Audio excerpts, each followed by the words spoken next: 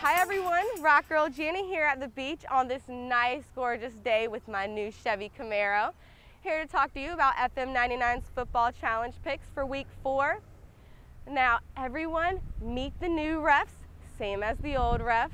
Yes, the official refs are back, so Green Bay, you won't be screwed again. And they're actually going against the Saints this week, so everyone get ready for a high scoring game. Mostly all the points are going to be put up by Green Bay. That's my pick. Game two is Minnesota at Detroit. Now, everyone knows that it was a fluke that Minnesota beat the 49ers last week, but it won't be when they beat Detroit this week. So I'm going with the Vikings.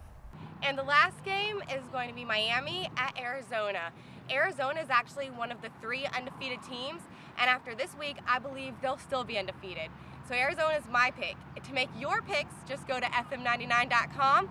This is Rock Girl Gina, and I'm gonna go ahead and take a swim.